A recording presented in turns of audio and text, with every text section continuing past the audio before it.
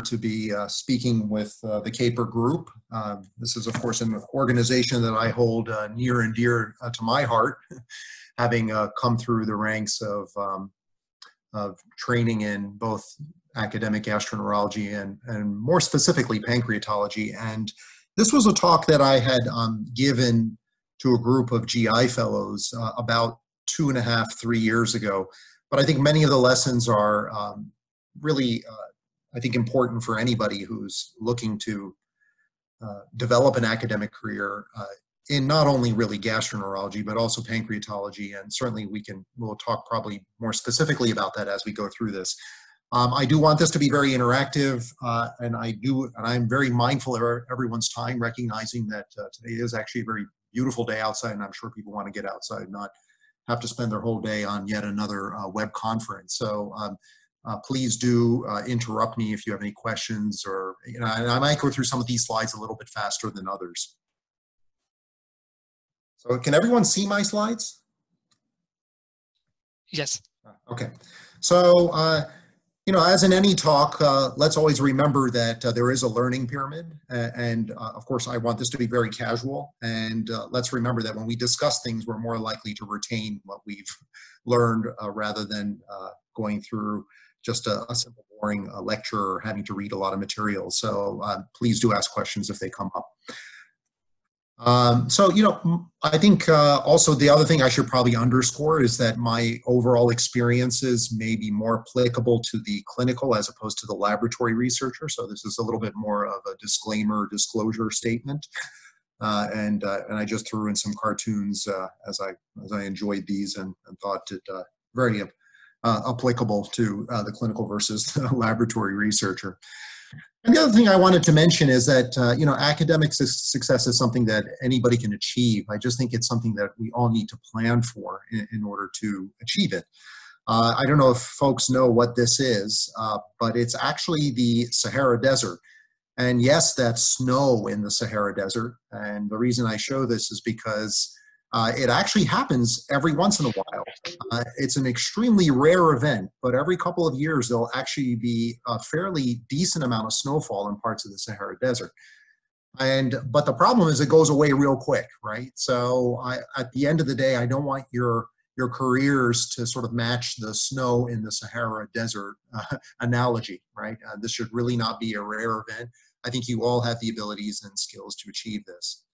So let's talk about what does it take to be academically successful? You know, and I think it's really uh, academic success lies at the confluence of many factors, including, you know, mentorship, guidance, and opportunity, passion, motivation, dedication, efficiency and productivity, knowledge, lear learning and skills, environment, institution leadership, time slash protection, luck and timing, and of course, hard work, effort, and persistence.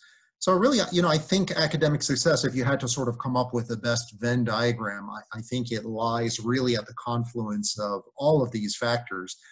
Uh, and, I, and I don't think we can discount any one of these. Now, I, of course, not everybody has all access maybe to all of these elements uh, at all points during their career. Uh, but I think if you, you know, if you at least are focused on what it's going to take and recognize these individual spheres, I think as you move forward, uh, you know, you'll begin to realize what is it that I need to really be successful. And, and I think that these are all things that uh, are, are, are, going to be critical factors, some of which are more related to ourselves and others are related to sort of our overall environment and the people we work with. So, uh, you know, I, I think that, uh, you know, there's always the iceberg illusion, right? So success is an iceberg. What people see is what it uh, they see the success, but they don't see the underbelly of the iceberg, right? Uh, you know, we're always only really seeing the tip of the iceberg. But when you think about the underside of it, there's all, all the elements that we all had to deal with in our in our pathway to success. Everything from persistence, failure, sacrifice, disappointment, discipline, hard work, dedication.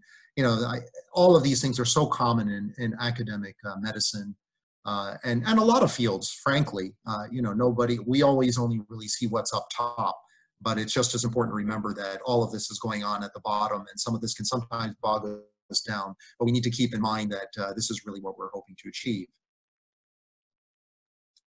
So, you know, what I say really are my top 12 tips for GI fellows. Uh, and, you know, I, am going to probably go through these a little bit more quickly, and certainly you guys can ask more questions as we go along. But, I, you know, uh, again, this was sort of geared towards GI fellows, and I think many in the audience are uh, probably GI fellows or maybe GI surgeons, um, as well as basic scientists. But I think a lot of these are still relatively applicable.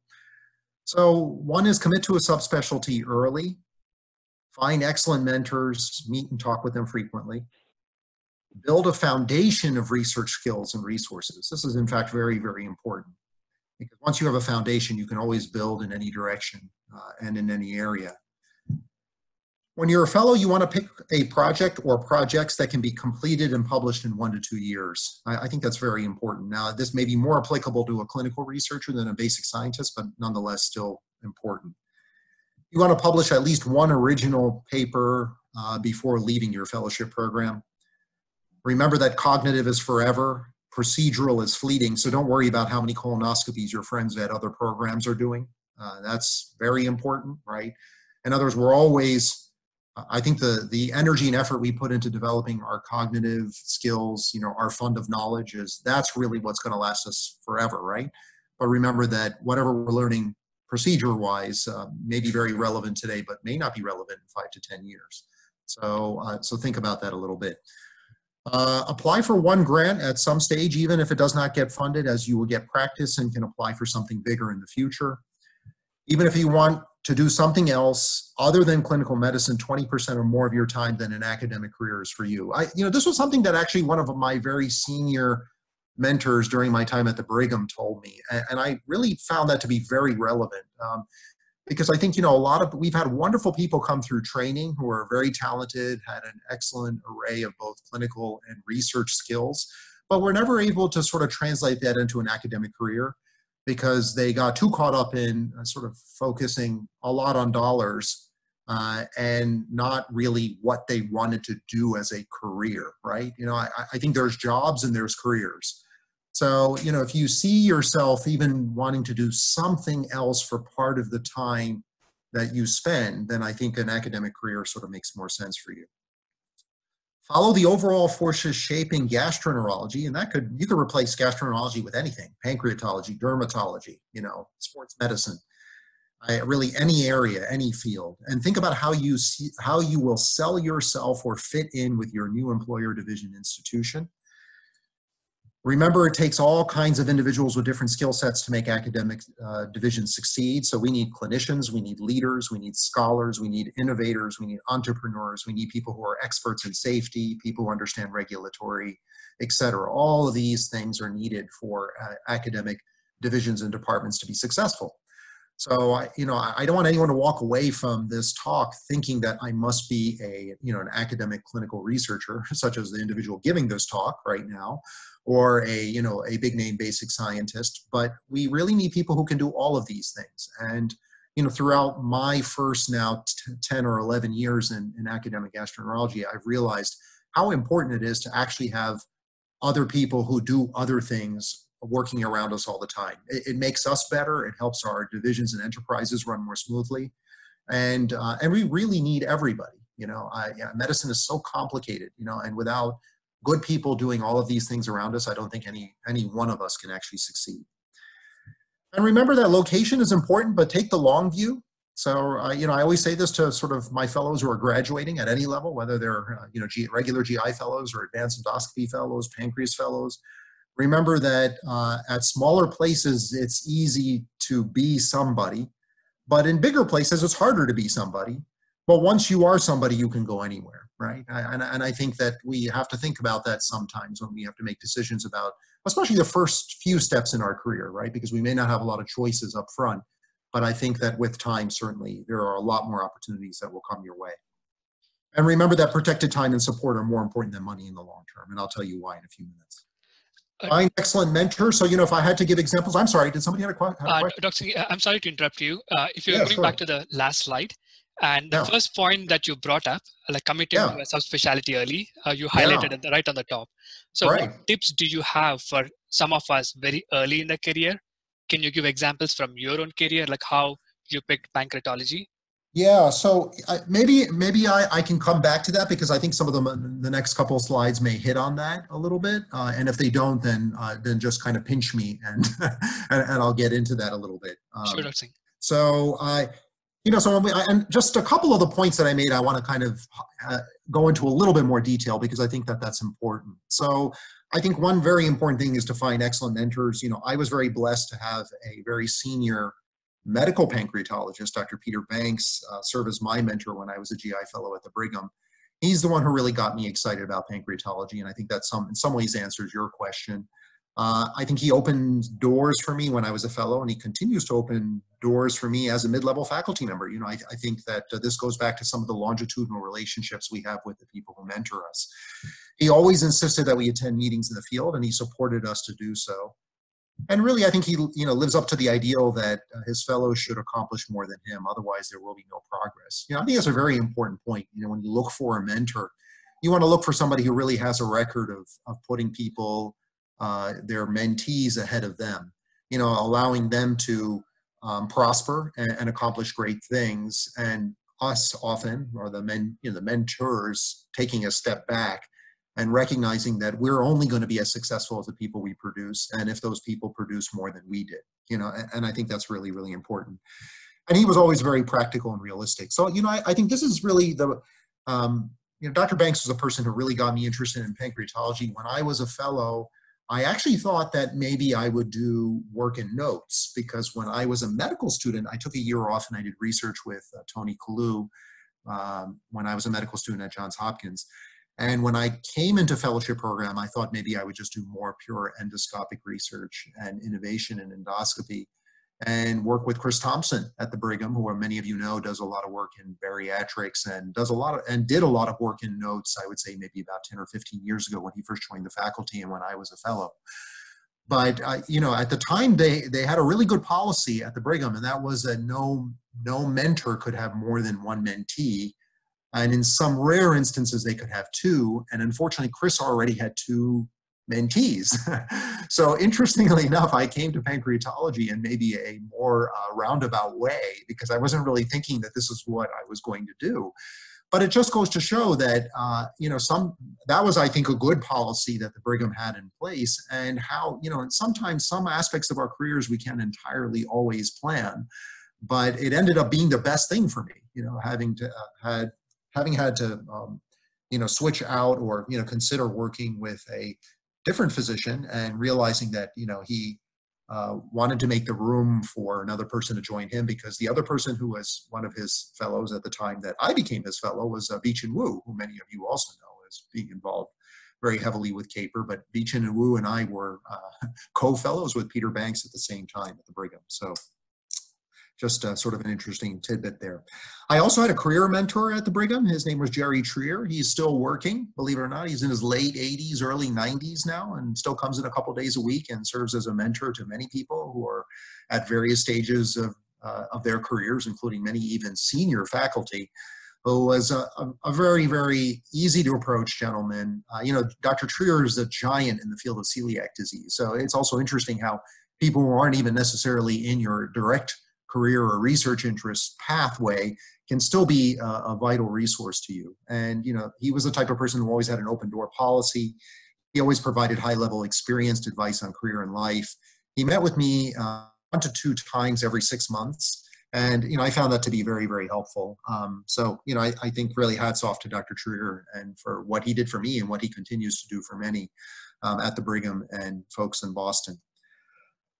Um, so, you know, these are other factors to consider when you're choosing projects. You know, it's, it's really interesting. We don't really, uh, you know, we, I, I think when we're going through our training, as, you know, no matter what stage we're at, whether we're medical students, residents, fellows, advanced fellows, uh, subspecialty fellows, we don't necessarily think about the, um, uh, you know, the types of projects we engage in, how much time they're going to take, their likelihood of publication, what it takes and what it what it is ultimately going to be worth right? And I, and I think that this is actually a very good slide because it, it helps you think of the kinds of projects that we get involved in and what their likelihood of publication are right? How much time it's going to take because you know at different stages of our career we're going to have very different amounts of time to dedicate to research. So you know, I try to think a little bit about this when uh, when my trainees come to me at different stages um, to do uh, research. So you know, I have medical students, I have residents, I have GI fellows, I have uh, advanced endoscopy fellows, I have junior faculty who all want to do work, but you know, at different stages in their career, they're going to have very different clinical commitments and other things that are going to be pressing on their time.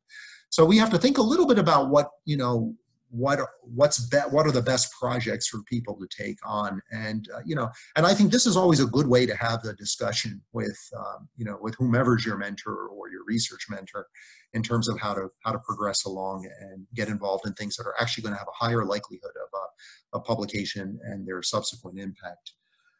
Um, my own fellowship project, uh, many of you probably uh, remember or have heard of the MOSAP database. This was a large prospective registry database of all the acute pancreatitis patients who were admitted or transferred to the Brigham between the years of 2005 and 2007. When I first started the project, we had only just a handful of patients, but by the time I finished in 2007, we had enrolled almost 400 patients into this database. Uh, and this led to many publications, including uh, many of you know about the BISAP score. So this was actually the data set that helped uh, with the validation of the BISAP score.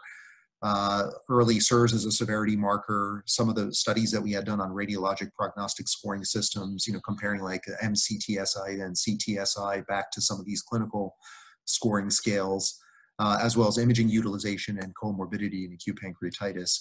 And, and what's interesting is that, you know, obviously many collaborations stemmed off of this effort, and it continues to be a resource um, for acute pancreatitis researchers. You know, despite the fact that uh, we're now so many years out, uh, this database continues to be used for projects, and you know, fellows at the Brigham currently are writing papers, and they continue to include me in some of these projects just because of the work that we had started. Uh, and it's interesting because this has really largely continued and uh, you know additional patients have been added to this database over time. And of course we know that prospective data is always the best data. So this i think uh, has been a, a, really valuable resource for many and has really helped develop a lot of people's careers. So I remember we were talking a little bit earlier about publish at least one fellowship paper uh, one paper during your uh, fellowship uh, time period. Uh, and as you can see, there are, of course, many obstacles and sometimes that happening, but I, I think it's important to do. Um, and, you know, of course, I think that, uh, you know, there's a, a, lot of pressure, you know, to publish, um, you know, I think especially for faculty, but I think that when you at least start getting into the habit of, of getting involved in, in the publication process, I think it becomes easier each time you do it.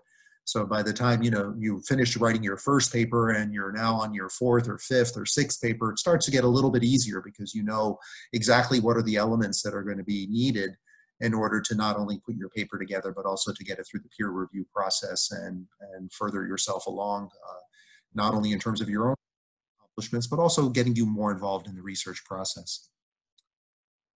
I, you know, you know, I mentioned a lot about talking. Uh, I, you know, I, I, really try to get fellows to apply for grants. Now, of, of, course, the first grant you may apply for is not going to be one of these awards, a K award. Um, many of you know that the K award is kind of the first step for uh, going towards. Uh, you know, these are the really the first level of NIH career development grants that people try to get a hold of uh, before they may be able to prog progress on to a U or an R, um, you know, mechanism of funding.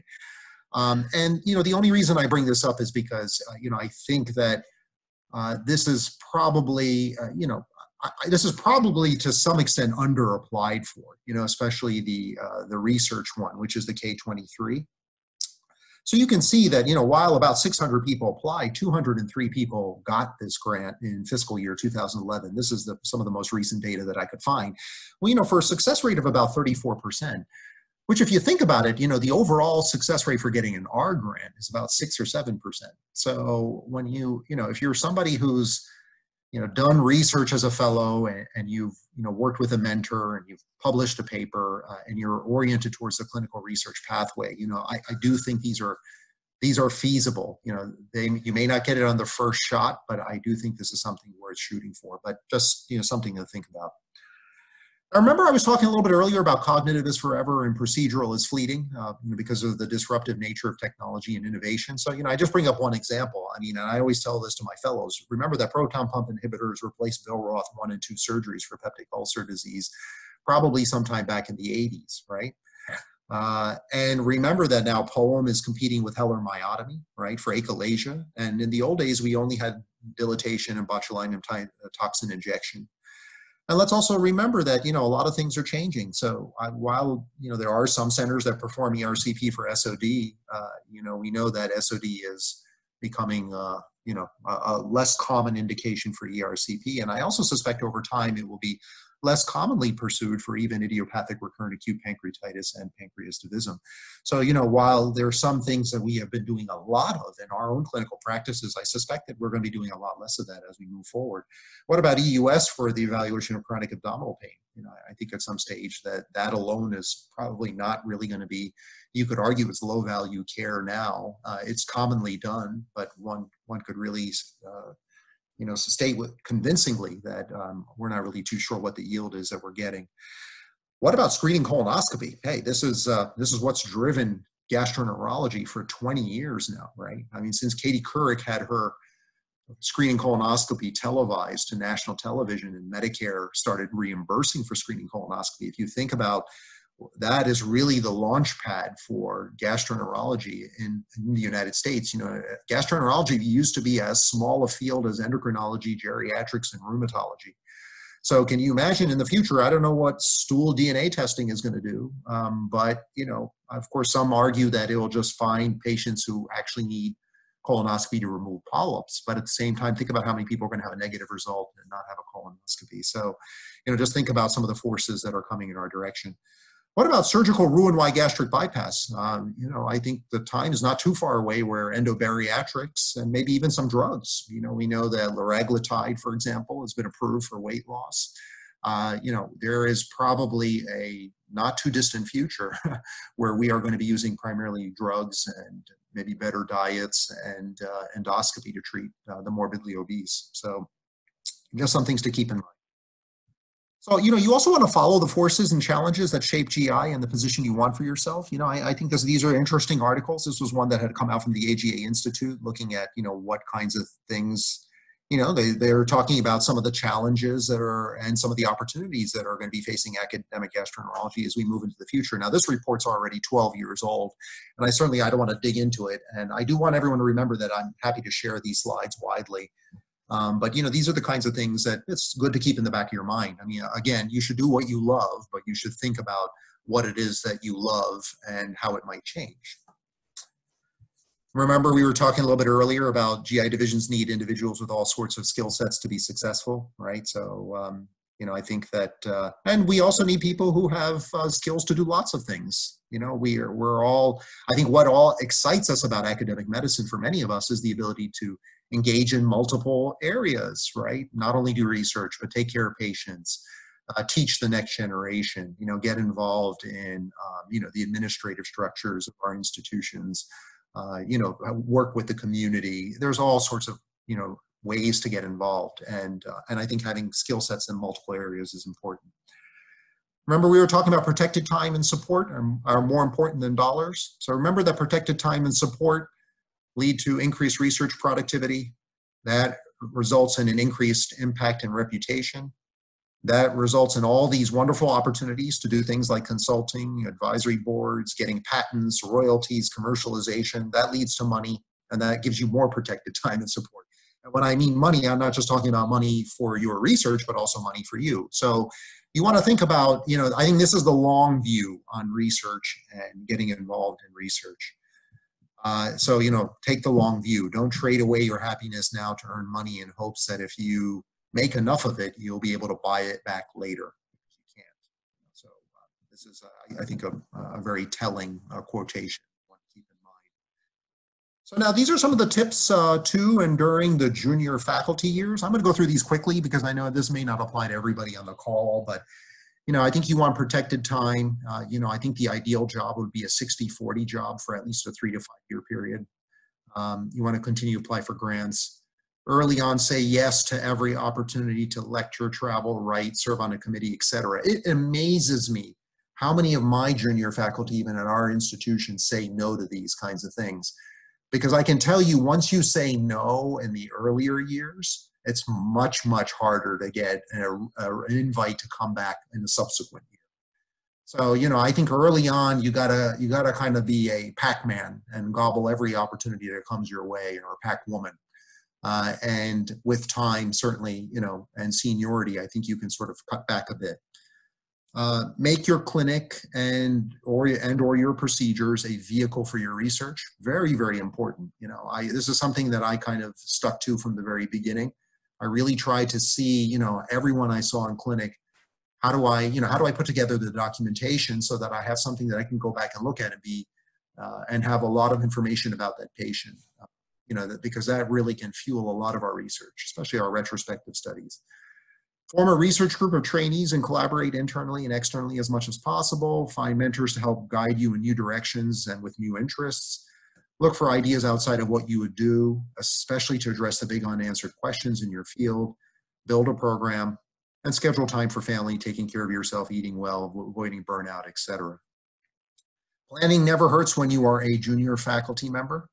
So, you know, this is something else that, uh, you know, it's interesting how much is out there that's in the literature that we can look to to think about, you know, how do we, what kinds of things do we want to do to help promote ourselves, you know, because some of this actually is very important as you start to think about academic promotion, right? So you become an assistant professor somewhere and you start to think about what are the kinds of things I need to do, you know, to ensure that when the time comes to be put up for promotion, that you will be viewed favorably by the promotions committee. So these are just some of the things. I won't go into a lot of details about this, but just you know things you want to think about. I've had a lot of mentors since my GI fellowship. Uh, so you know, beyond uh, my time with Peter Banks at the Brigham, who continues to be a mentor to me, I've I've I in fact picked up mentors and I've uh, continued some of the relationships I had with other mentors. So over here on the left is Tony Kalloo. You know, I worked with him when I was a medical student. And he was the big reason why I came back to Johns Hopkins to do an advanced endoscopy fellowship. He was actually the one who convinced me to do an advanced endoscopy because I was actually thinking about being a medical pancreatologist and just sticking with that. But he said, look, uh, you know, we're thinking about starting a pancreatitis subspecialty program. It would be good if you could not only do the medical, but the endoscopic. It would help you take care of your patients from multiple standpoints and really get involved in their care uh, all the way up to the point of them needing surgery. So he was really the one who convinced me to do that. And then when I first started working with the surgeons, as we built our pancreatitis center, I started working with the folks here in the middle.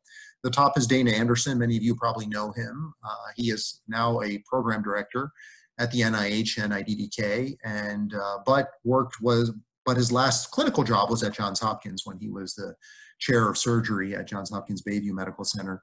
Below him is Marty Makary, who's probably one of the world's uh, you know leading uh, minimally invasive pancreatic surgeons. You know, probably only the second person in the United States to be doing the laparoscopic Whipple on a more regular basis, and the first person to perform a laparoscopic total pancreatectomy, and has really helped us develop our total pancreatectomy program tremendously before he stopped operating a couple years ago, only because he had a neck injury. Uh, Many of you know David Whitcomb over here on the right-hand side. He's a former division chief at University of Pittsburgh Medical Center. Um, of course, the discoverer of the uh, of the hereditary pancreatitis gene PRSS1 back in 1996, and of course has been a you know a huge uh, inspiration to many um, clinical and uh, laboratory pancreatologists uh, over his long, you know, nearly uh, three decade career now. But what's been amazing about David is I think he really helps everybody, uh, even outside of his own institution, sort of advance themselves in the field of pancreatology. The other person who I said would probably has become my greatest mentor in the last couple of years is Asbjørn Drewes. And he is the chief of GI at Aalborg University um, Medical Center in Denmark and probably the world's leading authority on visceral pain and pancreatic pain. And that's an area that myself and many of my uh, members of my research group have been getting more and more involved in. And I think uh, Asbjørn Drewes has been a, a tremendous asset uh, to us, not only from the standpoint of collaboration, but also mentorship. Um, and listen, it takes a village to make things happen. Uh, this is my research group, both current and former members. Uh, of course, every, everybody knows Venkat uh, and his wife Aisha, who's one of my current postdoc fellows, and Mahya Faghih, who I think is also on this call. Um, both of them are still working with me, but unfortunately will be leaving me soon. So if anybody else uh, is interested in a career in academic pancreatology, uh, uh, they can also join this group. Uh, the person who's not listed here right now, but whose uh, picture I've got to get a, a, better one of is Furkan Bular, who's also on this call. And Furkan, I got to get your picture up here. So I've got three postdoctoral fellows, uh, two who are imminently graduating. Tina Bortolari worked with me for a little while when she was a medical student. Now she's an internal medicine resident at Thomas Jefferson University in Philadelphia. Nassim Parsa worked with me as an internal medicine resident uh, and is now a GI fellow at the University of Missouri and Columbia. Amitasha Sinha worked with me as a postdoc fellow and is now working as a geriatrician in Maine. And Nilufar Jalali worked with me when she was an internal medicine resident and is now a uh, chief resident at one of our internal medicine programs here in Baltimore. I've also had former pancreas fellows who've gone on to academic positions. Um, uh, Ellie Afghani over here on the right, many of you probably know her. Uh, she worked with, uh, she was my, um, my fellow from 2012 to 2014. And then she went to Cedars um, Medical Center in Los Angeles, where she was an assistant professor for several years. And then she just came back to Johns Hopkins this past summer. So we're very glad to have her back uh, as a faculty member in our pancreatitis as well as our pancreatic cyst uh, uh, programs. On the left-hand side is uh, Robert Moran, who was uh, not only uh, a resident, but also a GI fellow and an advanced endoscopy fellow here at Johns Hopkins, and, and a pancreas fellow, I'm sorry, here at Johns Hopkins. So he did all of, all of his training here at Hopkins and worked with um, me as well, and is now a faculty member um, at Medical University of South Carolina in Charleston. The other thing, so I'm going to just finish up a little bit with, um, you know, make make your clinic your research vehicle. This is just a nice example of, of how we, you know, by keeping track of all the patients that we did genetic testing on since 2010, we were able to take that data and these very well phenotyped patients, only because we, you know, recorded as much detail about their visits with us as possible, uh, to actually then that becomes sort of a vehicle for all of your research, right? And this was just a a nice paper that we had put together looking at um, our, our, the results of our genetic testing in relation to uh, the phenotype of these patients that we had seen in clinic for a five-year period between 2010 and 2015. Many of you probably know about this manuscript. Now remember that experience and creativity uh, begin taking hold at the junior and mid-faculty stage. So, you know, when you're, when you're a fellow, you're coming out with all of this knowledge, right, over here on the left-hand side. Experience is when you can draw connections between all the knowledge you've acquired. And then creativity is when you can take that to, to the next step and actually create wonderful, innovative, and you know, groundbreaking next steps in wherever we're going. And you know, and I think this is a nice way to think about it. You know, that's very simple and that people can understand. And so I, you know, I, I think we always need to be thinking about how do we how do we acquire the knowledge and the experience to make true creativity happen. And one of the ex best examples of that, uh, of I, I, would say in my career and uh, you know up till now, is really this chain of events. And one of them is when I was a junior faculty member, I actually took a course on systematic review with Dr. Milo Puhan, who's probably one of the world's leading authorities on systematic reviews, meta-analysis, and network meta-analysis at our School of Public Health in 2010. I took this course and I was it was interesting because when I started working with him, I was like, wow, you're doing something called network meta-analysis. That seems really interesting. And I'd love to do it because I think I have a field where it could apply. You know, I was thinking in my mind that, gosh, you know, um, uh, we have uh, we have so many drugs that we use for post-ERCP pancreatitis prophylaxis, but we've never actually uh, had an opportunity uh, to actually study them all against one another in a network meta-analysis. And just one year later, uh, Venkat started working with me. Uh, he had just come from India. He had graduated medical school and started working with me as a postdoctoral fellow. And he was like, okay, I'll take this, you know, I'll take this bull by the horns. And he worked hard on doing this extremely systematic review. And he met with Milo a couple of times and we tried to figure out how to do this. And he published this wonderful paper in 2013 looking at uh, doing our first network meta-analysis looking at pharmacologic prophylaxis against post-ERCP pancreatitis. And what we found in this paper was that epinephrine actually ranked as the, um, as the most likely agent or the most efficacious agent to reduce post-ERCP pancreatitis rates.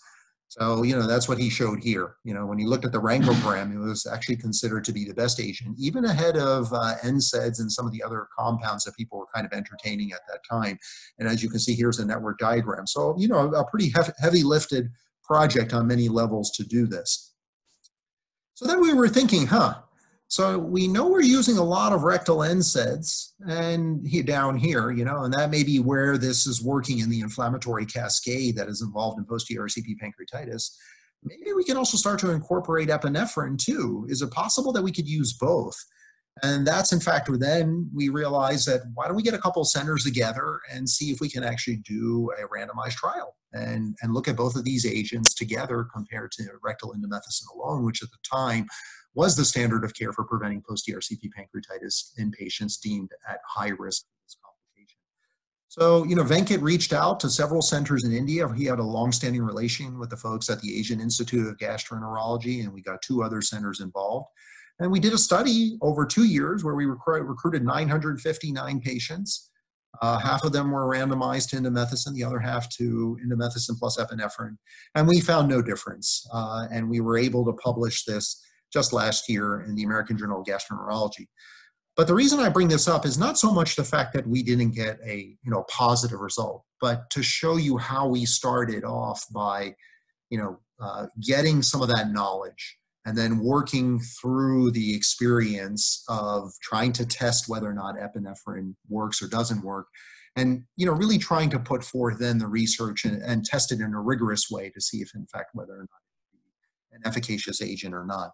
But what we did learn in the process is that we got invited to do lots of other things, right? Because we did this randomized control trial and then and then uh, Joe Elmunzer reached out to us in 2014, late 2014, early 2015 to get involved in the SVI trial. And that, of course, is now ongoing, and it's uh, about it just started its sixth year. And in this study, we're going to attempt to figure out whether or not uh, indomethacin plus stent is non-inferior to uh, just indomethacin alone. So this is a, an important study that is now coming out of just all of that effort that we had uh, put in over really the last 10 years in, in, getting involved in this. And we've got many other things that we're doing in post-ERCP pancreatitis. Uh, and of course, I mentioned Osborne Drewes a little bit earlier, talking about you know chronic pancreatitis pain and some of his work looking at quantitative sensory testing. Uh, and um, and you know, I, some of you might know about the Raptor trial. Uh, that uh, is a new direction, but with some of the folks that I've been working with in this field for a long time, Bechien Wu on the left, and George Papachristou on the right. Uh, and you know, we had actually put in for a U01 to study IV fluids in acute pancreatitis. And you know, while this study didn't get funded, I, I just want to show you that you know, obviously a lot of effort was put in, and I just want to you know look at the kinds of dollars that we were proposing uh, to do this study. And maybe maybe that's why we didn't get funded. But the point is is that how little things kind of lead to bigger things, right? So while this didn't happen, maybe in a couple years uh, with a little bit more data and impetus, we potentially could get this funded and, and completed. Um, one of the things I had also mentioned a little bit earlier is building a program. Uh, this is our total pancreatectomy and islet autotransplantation program working group. Uh, some of those folks in this picture have now graduated and moved on, but um, as you can see, uh, you know, uh, what had started as really nothing is now really largely built up into a, a much larger group of folks. Uh, and you know, um, this is you can. I'm not going to spend too much time on this, but just kind of how some of the evolutionary facts around our total pancreatectomy and islet auto transplant program at Hopkins I, I, really like this. I don't know those of you know Dr. Bissell at uh, UCSF, probably one of the you know maybe maybe one of the world's leading uh, basic scientists in hepatology. I just I just like this his five uh, home rules for the two career couple. I, I, won't read them out loud, but I think they're they're really good. And I, I kind of I, I state some of these uh, uh, time and time again to my own fellows and trainees because I think it's important. You know, we don't live in a vacuum. Um, we don't uh, just come to work to work you know um, I, everybody needs to live everybody needs to uh, focus on their family and the things they enjoy doing. And, and i think it's always important to keep some of these uh, tips in mind as we work through our careers and think about what's important to us. Um, so you know five home rules for the two career couple. And for with that i will i will stop and uh, and hopefully just answer questions and chat with you guys. Thanks so much. Thank you dr singh for the excellent talk you covered a very broad spectrum of topics with important lessons to trainees at all different levels. We will open it up for discussion and uh, participants feel free to unmute yourself and ask a question to Dr. Singh. And Dr. Singh, while uh, rest of the audience prepares their questions, I have one quick question for you. would you agree that some of the topics in pancreatology world is not progressing at an optimum space uh, pace and do you think collaboration between clinical pancreatologists and basic science pancreatologists are important and you have done this before uh, but is this an important thing to collaborate with basic scientists and how do we collaborate with them Right. So all, very good questions. I, I do think the the biggest deficit in the field of medical pancreatology is the lack of a directed or targeted drug to any of the diseases that we treat outside of exocrine insufficiency. Right. So in other words, we have no pharmacologic agent to treat acute pancreatitis, uh, we don't have a directed pharmacologic agent to treat chronic pancreatitis pain uh, while we have uh, enzymes uh, to treat exocrine insufficiency, one could argue that exocrine insufficiency is a lot more complicated than simply assessing for the presence of pancreatic lipase uh, in the stool, right, or any of the other enzymes involved in pancreatic uh, digestion and absorption, but, but, also has a lot to do with our nutritional needs, right, how um, our nutritional intake and intestinal adaptation to exocrine insufficiency, right? So it's actually multifaceted. So, and that may be one reason why we're not really progressing. We really can't tell many of our patients what is the benefit of long-term uh, enzyme replacement therapy, uh, even if they have exocrine insufficiency, because that's never really been proven.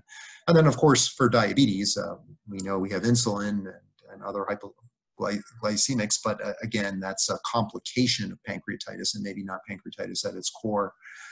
Uh, you know, and similarly, you know, pancreatology is not just pancreatitis. I would say that is the, the, the largest area. It also includes, of course, pancreatic cyst disease. Um, and, uh, and, it also uh, includes um, uh, pancreatic cancer.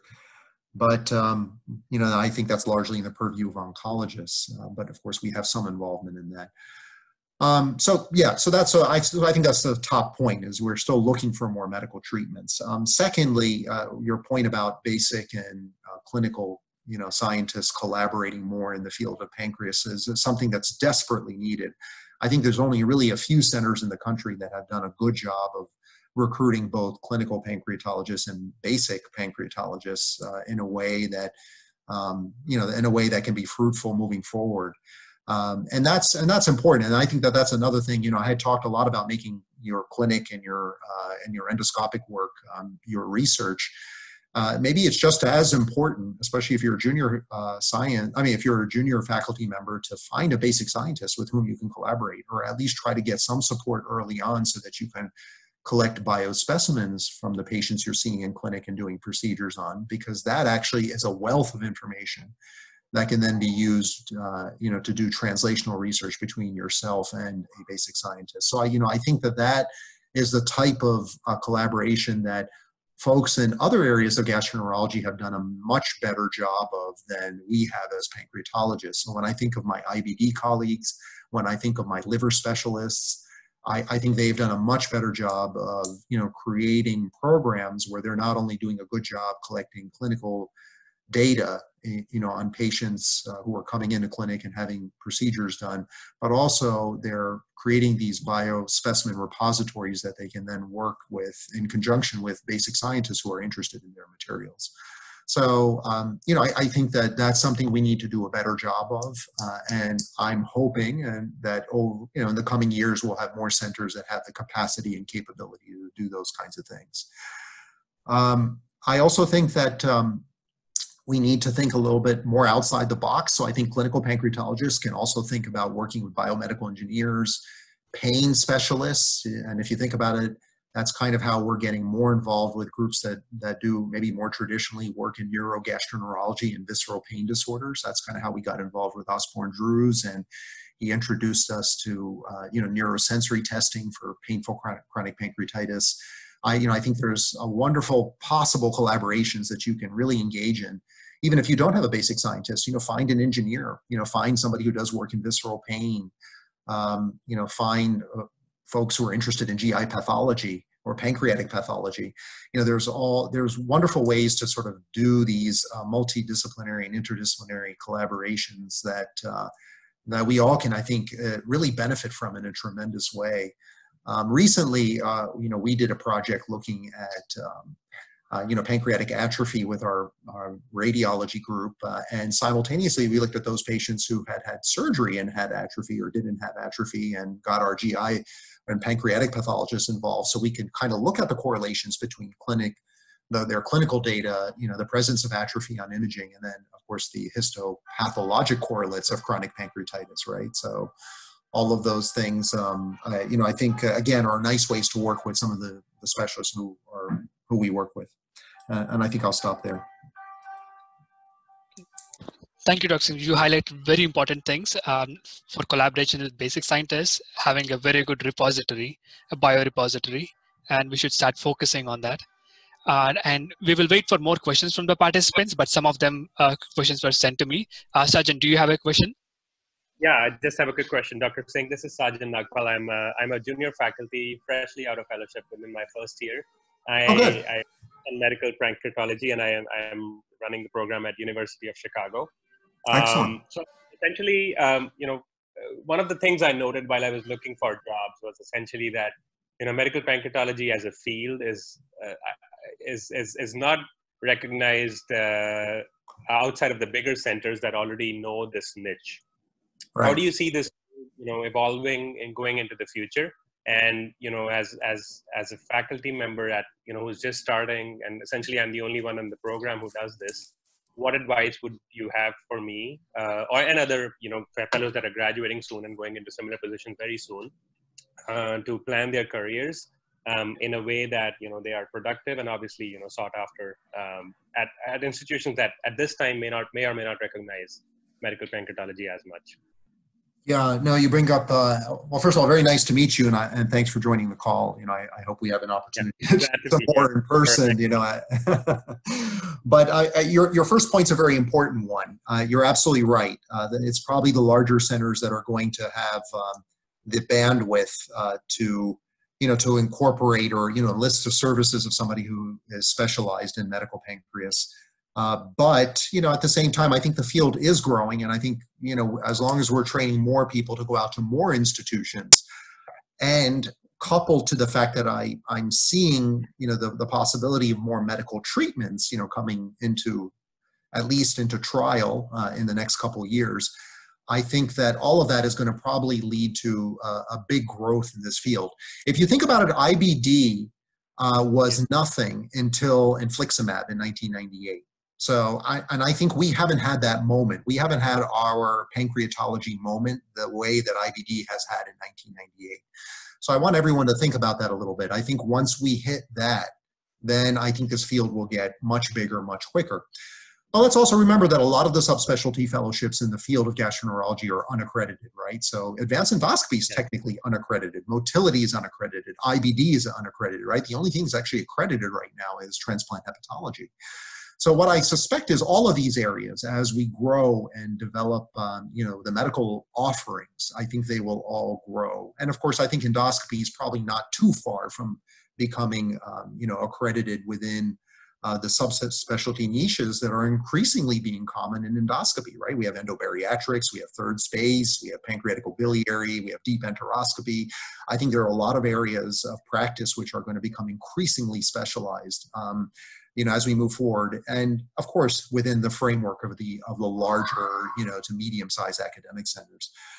Now you, you, know your second question on on planning a, a, career you know I, I i don't know if you caught the slides that um, i had put up you know about just things to think about as a junior faculty member. And i will it's very important to me that you all get these slides. So I will forward my talk to Venkata and hopefully he can post it somewhere where you guys all have ready, access to it because I think it's important. Everybody should see it so they can, um, you know, to take a look at some of the things I put there. But I, you know, I think a lot of those are probably the kinds of things you want to think about you know, saying yes to everything, making clinic and your endoscopic work kind of the basis for your research, you know, really trying to collect that data and organize it early. So then as you build with time, you'll just be fascinated with how much information you have. Um, you know, getting collaborators, uh, even if they're outside of GI or outside of a traditional pancreas space, you know, finding those collaborators, I think is a, is a wonderful way to also, you know, uh, not only um, possibly get some money to help support some of your research, but also work with other people who may be thinking about your field in very different ways and very different directions. Uh, those are probably, and you know, and then of course, I think looking for some protected time. Uh, you know, that's yes. actually that's going to be critical. And I think the problem nowadays at a lot of institutions is such a demand on clinical, um, uh, you know, doing clinical work that it's becoming increasingly difficult to protect one's time.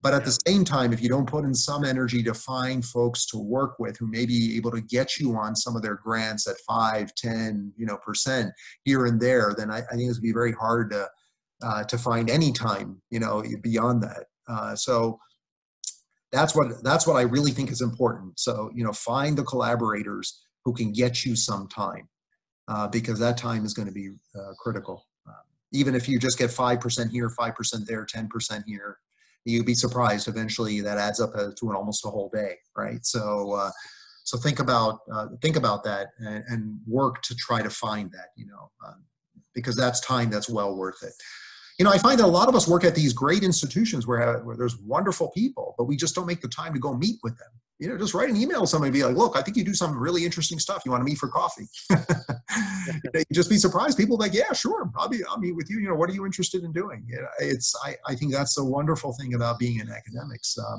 you know, Venkat's got a lot of experience with that. You know, I have to give him a lot of credit. You know, he's here at Hopkins and probably knows everybody at the School of Public Health and biomedical engineering. He knows all our surgeons. You know, he's constantly uh, meeting with folks to help uh, further you know some of our research efforts and just out of natural curiosity because these people lead you in different directions. Um, uh, similarly Mahya who's on this call you know she's she's met with some of the neurologists you know because we're interested in pain so we want to see how neurologists think about pain. You know they had they think about pain of course from the back standpoint from migraine standpoint whereas we're thinking about it from the belly right? But there's a lot of really interesting commonalities to pain in general right so when you meet with them you start to be like wow i didn't even think about that you now introduce me to a, a, new thought process, maybe even a new drug that I could try for my patients. An excellent example of that are these anti-migraine medications.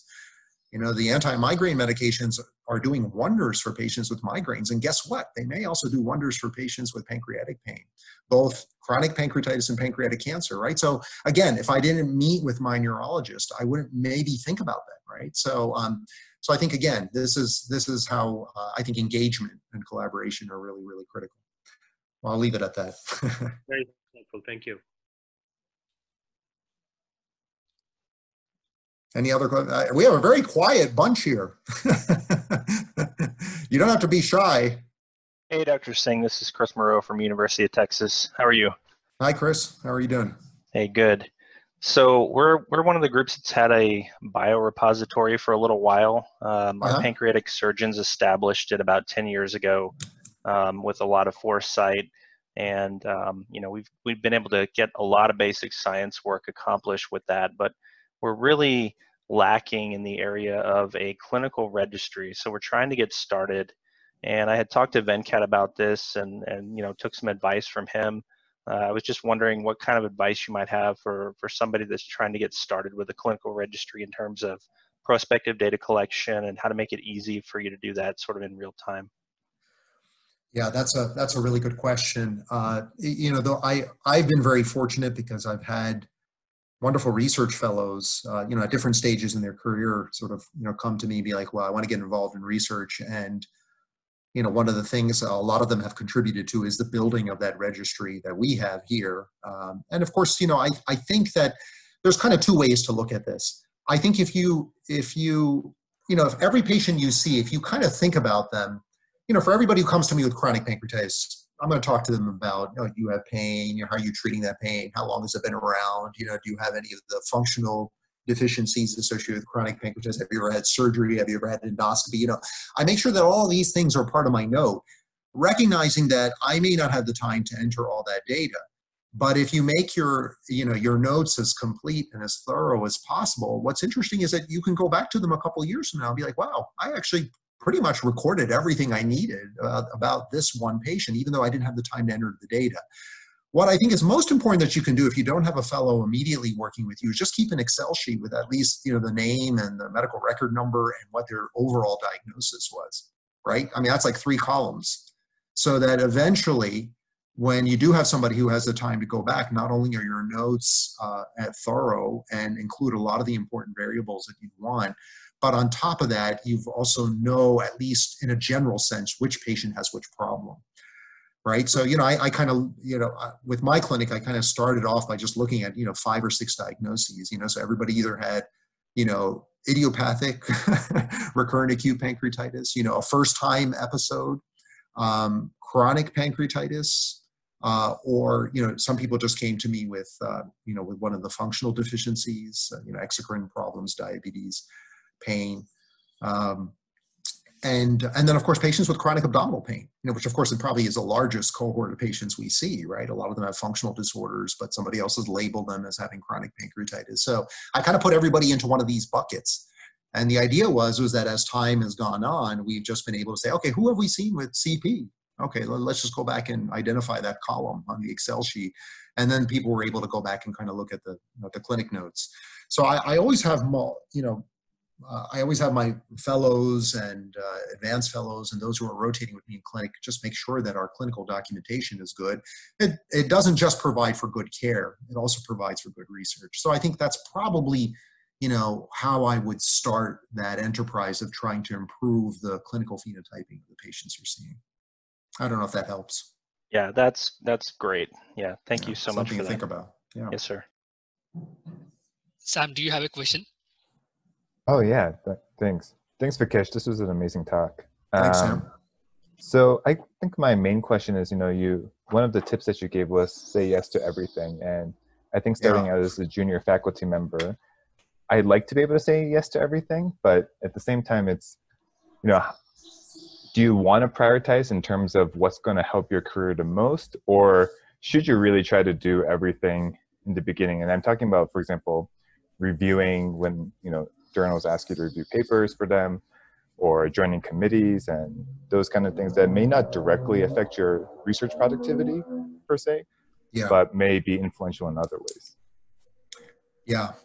I, you know what? Uh, you, uh, it's a very, very good question. Uh, I would say that in the beginning, you want to be a little bit more yes.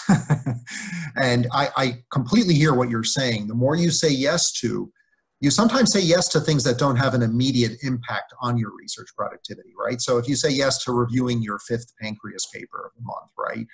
Or you say yes to joining another committee that's going to have another web conference, you know, every other week. or, you know, all of those things don't have what I would call that immediate impact on your research.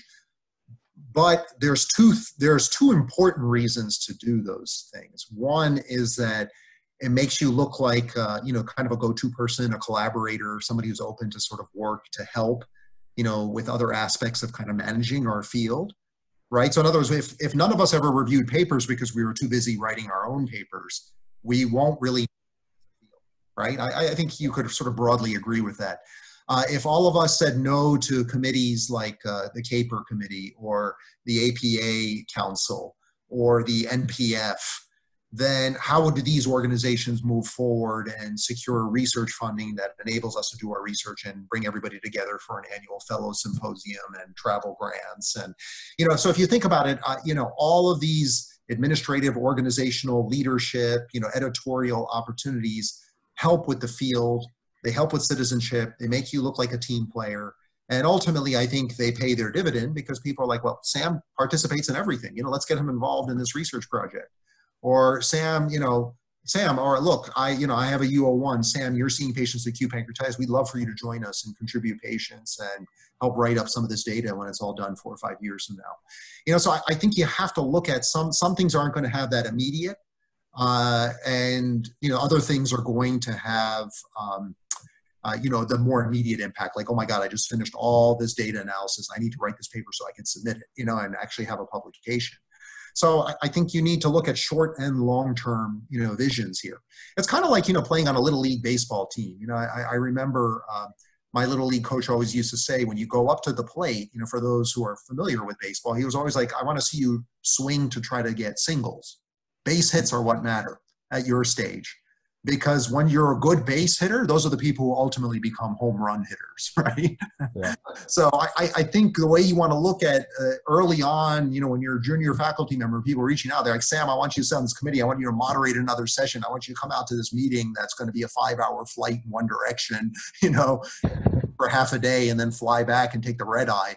You know, it's painful, but a, in a lot of ways, I think those are the kinds of things where you're building your brand, your collaborative spirit, you know, your own, you're, you're contributing your energy to kind of further our overall efforts, if that makes sense. And it's hard to sometimes see it that way.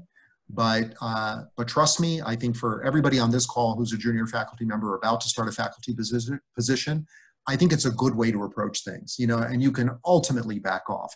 Now, obviously, if you have a big family commitment, you know, you're invited to do something and, you know, it's your kid's first birthday or, you know, it's your dad's 80th birthday, you know, you, you have to start to think a little bit about, you know, that there's not going to be a second time for those kinds of things, right? But I think in as much as it's possible, I think a spirit of saying yes is better than saying no. Gotcha. No, that's great. Thank you so much. Thank you, Dr. Singh. We had a, you, this was a great talk and we had very good discussion. This will be recorded and will be available online and on social media. And I will also distribute your slides. And thank you again for being part of CAPER and talking to our trainees today. All right. Thanks, everybody. Uh, have a great afternoon. Enjoy the beautiful weather. And for the trainees, thank please you. stay back for a few more minutes uh, for, for those interested in talking about